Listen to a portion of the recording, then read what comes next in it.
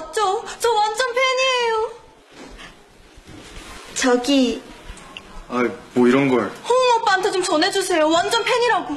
저는 라운 오빠요. 진짜 진짜 좋아한다고 꼭 좀 전해주세요.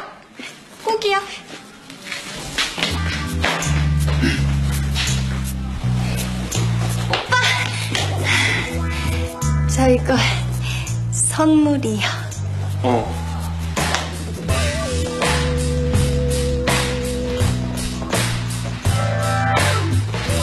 미안한데, 이런 거 좀 부담스럽다. 친구인데 오빠라고 부르는 것도 좀.